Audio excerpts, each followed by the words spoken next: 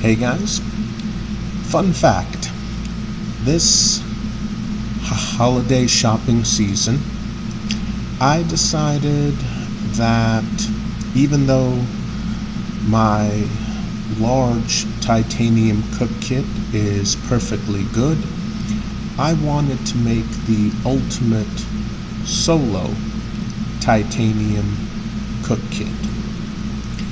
My 900 ml titanium cook kit from Toaks that I custom put together, that's great for two people.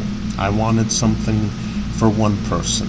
So, ordered a bunch of different titanium cook pots, a bunch of different titanium cook mugs, cups, pots, and you're looking at a picture of one of the ones I really shouldn't have ordered, and I'm going to get into the reasons why.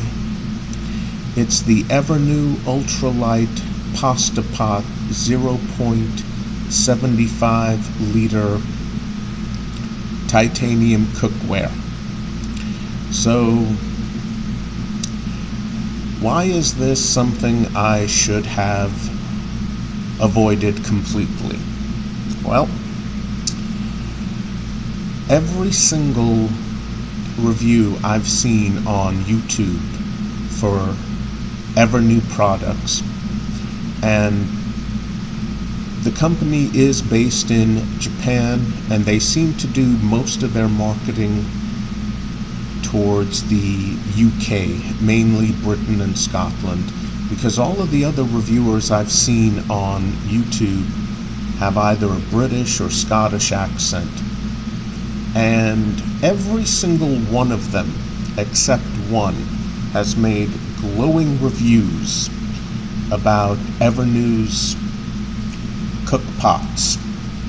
Every single one, except one a Scottish gentleman who talked about having to replace all of his titanium cook pots because someone broke into his boat and stole a bunch of stuff, including his titanium cook pots. I mean, who does that? Who does that? you're going to break in and you're going to steal cookware. I get it, it's titanium, but still. So, all of his titanium cook pots were from a different brand. He decided to replace the ones that were stolen with examples from Evernew. And the ones he had purchased were Evernew's bigger titanium cook pots mostly the non-stick versions and he said he was really happy with them except for one thing.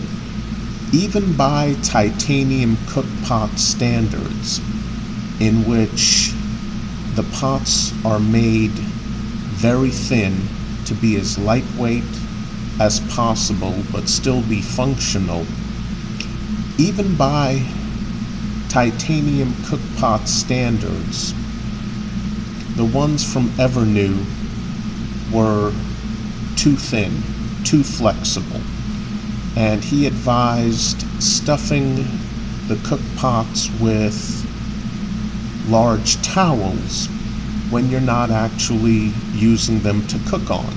Otherwise, you risk crushing them and crushing them rather easily. Well, since his review was on the larger Evernew cook pots instead of the smaller ones, I decided to take a chance on this one because I found a review outside of YouTube, a written review online in which an individual praised this specific titanium cook pot as being absolutely wonderful. Now, even though it's advertised as a pasta pot, he said it made an absolutely wonderful cook pot on the trail, hiking, you know, giving off the impression that this would make an excellent cook pot in a bug out bag or a get home bag for one person. And oh, what a dirty, dirty liar he was. Let's take a look why. Let me just adjust the camera a bit. Yeah. Sorry guys, that's the best angle I can get. Okay, so it looks like a really good cook pot. The lid extends over the top and you do get a black plastic knob. Normally I don't like these because they don't fold flat, but the good thing with the Evernew, and I'll give credit where it's due, due to this dished out portion here, the top of this is nearly, nearly flat with the top of the lid. Here's the problem though. It is sharp all the way around. Have fun gripping that. And since the lid extends all the way around on the sides, yeah, it doesn't come off easily. It pops off. Now maybe the reason why it pops off, and let's make sure you guys can see this. Look at that ridiculous level of flex. You should not be able to do this with a titanium cook pot. And I am not a bodybuilder. I am not Arnold Schwarzenegger in his prime. I'm barely applying pressure, and this is flexing to what I consider to be a ridiculous degree. And because of that, because of that flex, and yeah, it's not flexing back into place, guys. Let me try to flex it the other way a bit so I can actually get the top back on. Yeah, this, oh, this top does not want to go back on. There we go. There we go.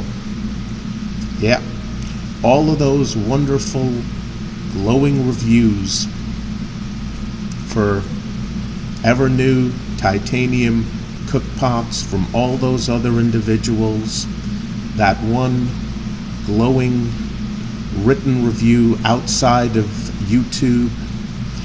See, this is why my channel is necessary. This is why I started making videos. Because all those glowing reviews from people, it's like, oh, oh man. Oh, I don't know what to say, guys, except don't waste your money on Evernew. All those reviews on YouTube, that one glowing review outside of YouTube, there was one review on YouTube and I wish I could link you guys to that review, but I don't remember the name of the guy's channel. But there was one individual who said, hey, overall, I'm happy with my Evernew cook kit, but these Evernew cook pots, even by titanium cook pot standards, are made too thin, they're too flexible, Stuff them with heavy towels when you don't use them so you don't accidentally crush them. Yeah, wonderful advice. Here's some advice from me avoid Evernew products. I'll see you guys next time. Have a good one.